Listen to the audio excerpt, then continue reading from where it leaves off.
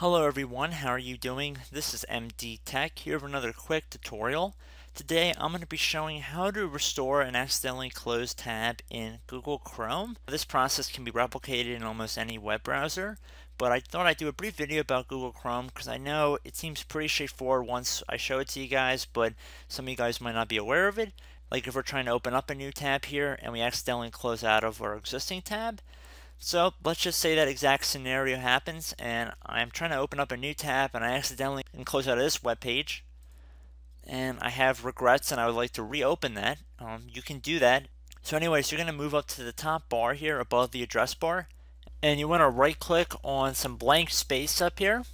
Please note if this option is grayed out, it can mean one of a few different things. On one hand, um, you might have accidentally closed out of your entire web browser window, and you obviously can now restore a tab if you've closed out of the window. It can also mean you are in incognito mode, in which Google supposedly does not keep track of your browsing history, which we all know is not really true, but for the gist of this tutorial, um, it won't let you restore back another tab you might have closed out of. The top bar would appear gray if it was in incognito mode. As of this recording, I don't know if they're going to change the color of incognito mode eventually, and the final thing is perhaps you just have to right click on the top bar again.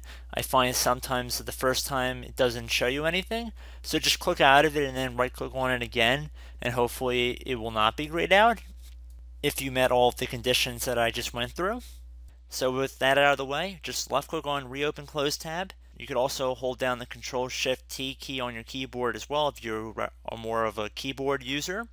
So you left click on that and we can see our tab has reopened.